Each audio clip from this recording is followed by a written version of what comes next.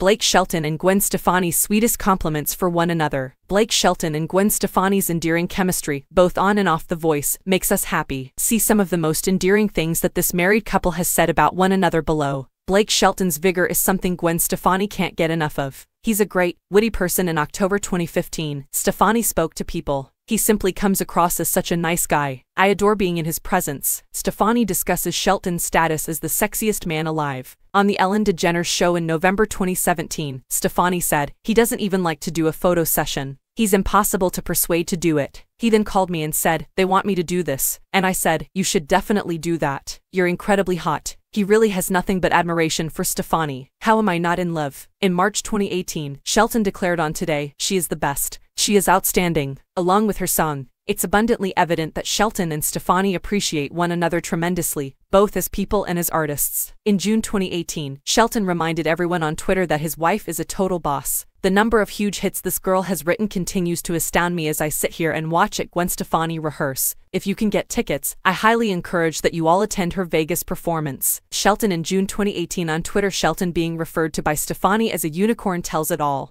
On September 2019, Stefani commented on SiriusXM's Andy Cohen Live.